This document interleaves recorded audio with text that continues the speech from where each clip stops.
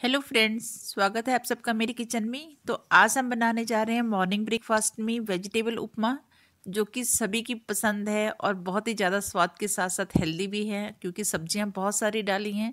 तो आप मेरे साथ वीडियो में पूरा एंड तक बने रहना। तो चलिए मेरे साथ। तो इधर ले लिए मैंने एक कप सूजी और जो मैंने सब्ज़ियाँ ले ली हैं, प्याज, गाजर और जो स्वीट कॉर्न और इधर ले लिए बीन्स कॉलीफ्लावर और जो फ्रोज़न मटर ले लिए हैं मैंने। और ब्लैक सरसों, एक चम्मच नमक, देसी घी और ये सब्ज़ियाँ जो है, मैंने बहुत ही बारीक बारीक काटी हुई हैं। गाजर और ये कॉलीफ्लावर और बीन्स जो हैं, बहुत छोटे छोटे पीसेस में काटे हैं। तो इधर जो सूजी है, वो नॉर्मल सूजी है। तो इधर पानी ले लेंगे और ऑयल ले लेंगे वेजिटेबल ऑयल और इधर ले लिया मैंने हरा धनिया, बारीक बारीक काटा हुआ मूंगफली और ये जो साबुत उड़द दाल आती है और ये चना दाल, मैंने एक एक चम्मच इसको पानी में भिगा दिया है और हरी मिर्च और करी पत्ता ले लिया है। तो सबसे पहले हम सूजी को ड्राई रोस्ट करेंगे। कई लोग सूजी को पहले से रोस्ट करके रख लेते हैं, लेकिन मेरे को जो है फ्रेश आपकी सूजी जो है रोस्ट की हुई ज़्यादा अच्छी लगती हैं। तो इसलिए आप भी सूजी को फ्रेश रोस्ट करें, क्योंकि अगर आपने सूजी स्टोर करके रखनी है तो आप रोस्ट करके रख सकते हैं, लेकिन फिर भी मेरे को जो रॉ सूजी होती है, वही ऐसे ही रखती हूँ मैं फ्रिज में तो उसके बाद जब चाहिए हो तभी मैं रोस्ट करती हूँ। तो इसको पाँच मिनट के लिए हमने हल्का ब्राउन होने तक हमने इसको रोस्ट करना है। तो ये हमारी हो चुकी है सूजी। तो इसको हम किसी प्लेट में शिफ्ट करके और इसको हम इसी जो कढ़ाई है, इसको साफ़ करके टिश्यू से तो इसी में हम उपमा बनाना शुरू करेंगे।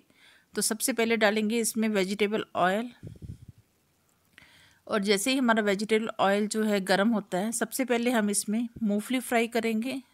और मूंगफली को फ्राई करके हमने इसको अलग से कटोरी में डाल लेना है. तो इसको हल्का सा ब्राउन होने तक इसको फ्राई करना है. तो ये देखिए पूरा हिला हिला के इसको हमने ब्राउन कर लेना है. आप इसमें काजू भी डाल सकते हैं.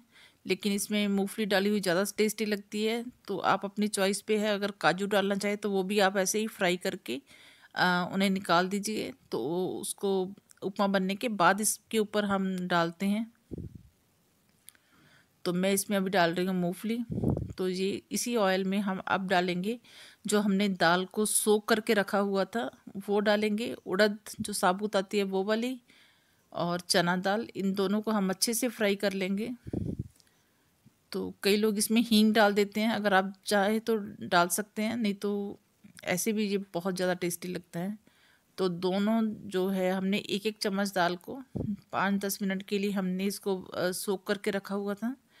तो इसको कर लेंगे हम अच्छे से फ्राई, और अब इसमें डालेंगे हम ब्लैक सरसों, और उसको भी हम पूरा क्रैकल होने देंगे। ये देखिए।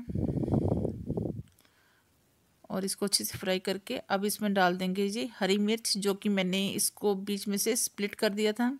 और साथ ही में डाल देंगे करी पत्ता। करी पत्ता को मैंने सुखा के रखा हुआ है, क्योंकि कई बार फ्रेश जो करी पत्ता है, हमें नहीं मिल पाता है तो इसलिए सुखा के रख लेते हैं।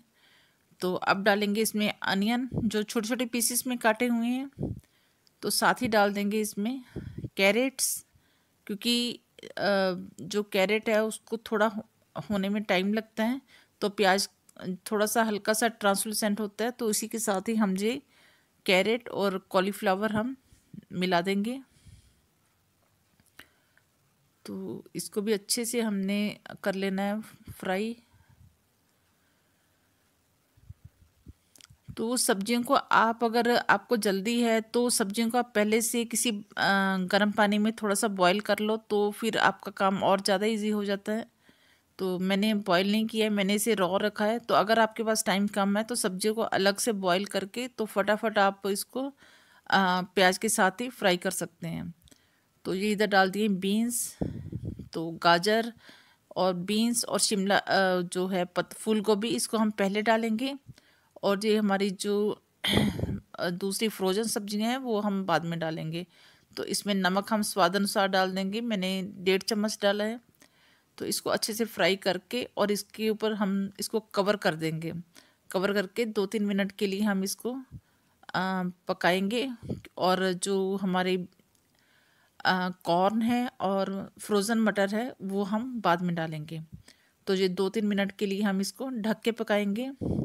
तो ये जब तक सॉफ्ट होते हैं तो ये देखिए, पूरा इन्होंने अच्छे से फ्राई हो गई हैं ये चीज़ें। तो अब डाल देंगे इसमें फ्रोज़न मटर और साथ ही में डाल देंगे हम ये कॉर्न भी डाल देंगे। तो इसमें से आप या तो कोई सब्ज़ी इसमें ऐड करनी तो ऐड भी कर सकते हैं, पर मैंने ऑलरेडी काफ़ी सब्ज़ियाँ डाली हैं तो इसमें से आप कम भी कर सकते हैं और ऐड भी कर सकते हैं। वो आपकी चॉइस के ऊपर है। तो जितनी आप सब्ज़ी डालेंगे, उतना ही ये हेल्दी बनेगा। ये देखिए कलर भी कितना प्यारा लग रहा है। तो इसमें अब डाल देंगे हम ये रोस्ट की हुई सूजी। क्योंकि सब्जियों के साथ ये भी तो हल्की सी और पक जाएगी और इसमें भी जो हमने थोड़ा सा देसी घी भी इसमें ऐड करेंगे। तो इससे सूजी जो है दोबारा एक बार फिर से फ्राई हो जाती है। तो इसको अच्छे से हमने सब्जियों के साथ ही रोस्ट रोस्ट कर लेना है।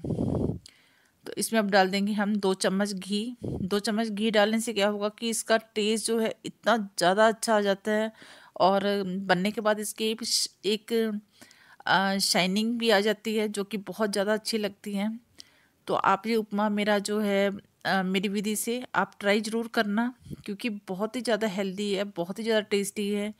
कोई भी मेहमान आए तो आप ये ऐसे रोस्ट करके रख सकते हैं और जब आए तो आप इसमें पानी ऐड करके और आप उसको रेडी कर सकते हैं।